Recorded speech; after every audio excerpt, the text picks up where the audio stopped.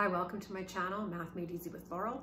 I'm Laurel, and in this video we're going to talk about external dovetails or slides.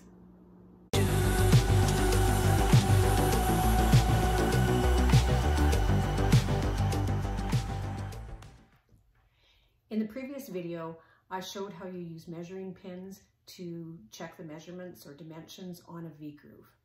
We need to do the same thing with both external and internal dovetails. It is impossible to measure this dimension or this dimension precisely. Therefore, pins are used and dimensions are found with those pins to check the accuracy or precision of your dimensions. Let's take a look at an example. We have a block that has an external dovetail. We know that the angle is 60 degrees, which is a very common angle with dovetails. You might see 45 degrees. Mathematically, it could be any angle, but typically you're going to see 60 degrees. You're going to be given this length here, which is 5.500 in this case. On your blueprints, you're going to also know what this length should be. But once this is machined, it's impossible for us to measure that. So that's why we're going to use these measuring pins. What we're going to do is measure the distance from the outside of each of those pins. That's going to be length Y. We can also measure from the outside of the pin to the outside of the piece, and that's going to be X.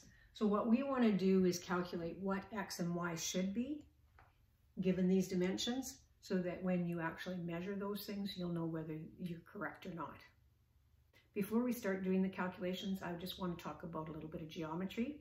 In the last video, I talked about a tangent line touching a circle and creating a right angle with the radius.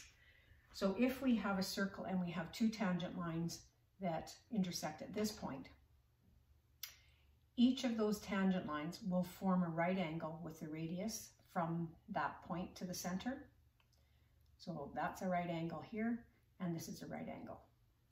If I were to bisect that angle created by those two tangent lines, they would be identical or equivalent right triangles because these two sides are equivalent and these two lengths would also be equivalent.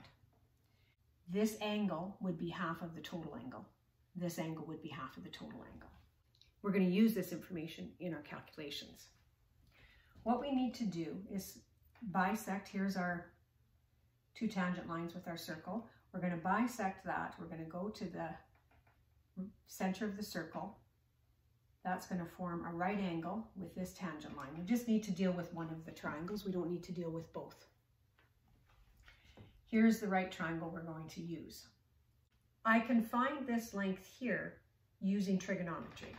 And I've talked about the trig ratios in a previous video, so if you haven't taken a look at that, I suggest you go do that first. So we're going to use trigonometry to find this length. We know this length, it's simply the radius of the circle.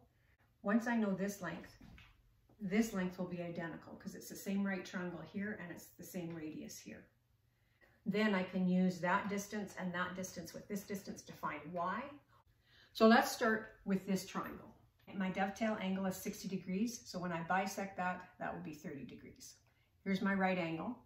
This is the radius. The diameter is 11 sixteenths of an inch, which is 0.6875 inches.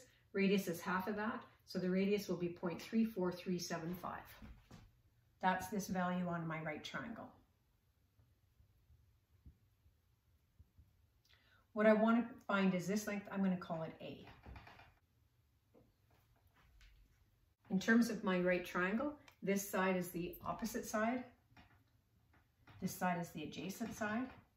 The trig function that uses opposite and adjacent is the tangent function. So the tangent of 30 degrees will equal the opposite side, which is 34375 divided by the adjacent side, which is A. In order to solve for A, I need to get it out of the denominator. So what I'm going to do is I'm going to multiply this side by A, so it will cancel. And whatever I do to one side of the equation, I have to do the same thing to the other side. So I'm going to have A times the tangent of 30 degrees equals 0.34375. The A cancels. Now to find A, I'm going to divide both sides by the tangent of 30 degrees.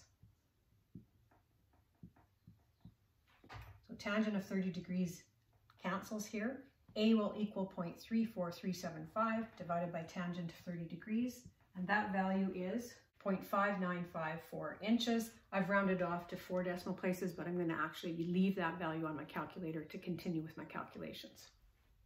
So now that I know A, this value is R, and I know R is 0.34375.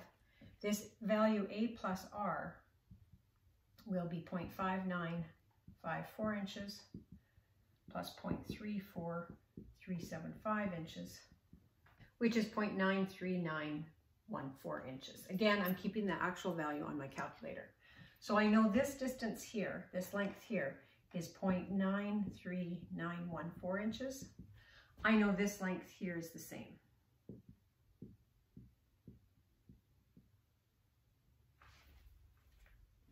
Therefore, I can find both y and x.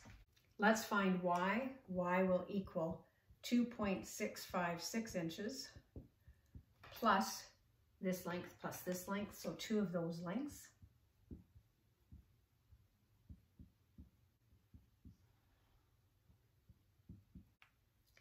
We get a y value of 4.5343 inches. And now we can use that value to find the value of x.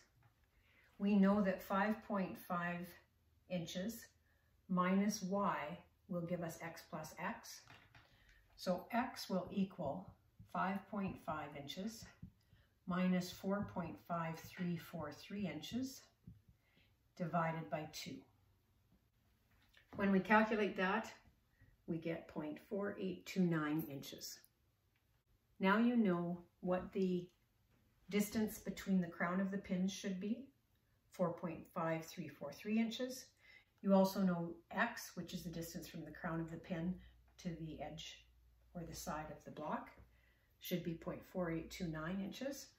So if your measurements are consistent with these, then you know that your dovetail has the dimensions that are on the blueprint and it's positioned correctly.